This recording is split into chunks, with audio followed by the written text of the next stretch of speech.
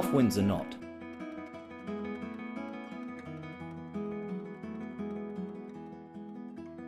Hang the tie around your neck with the wide end of the tie on your right, making sure it's roughly a foot below the narrow end. Cross the wide end over the narrow end and hold in place. Turn the wide end back and up through. Bring up and turn down.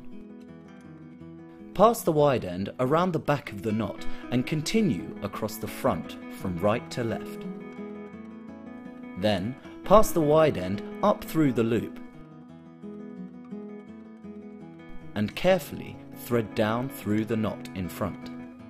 Holding the thin end, lightly pinch the base of the knot and carefully draw up to the collar. Pull down the collar and make any final adjustments. There you have it, the half Windsor knot.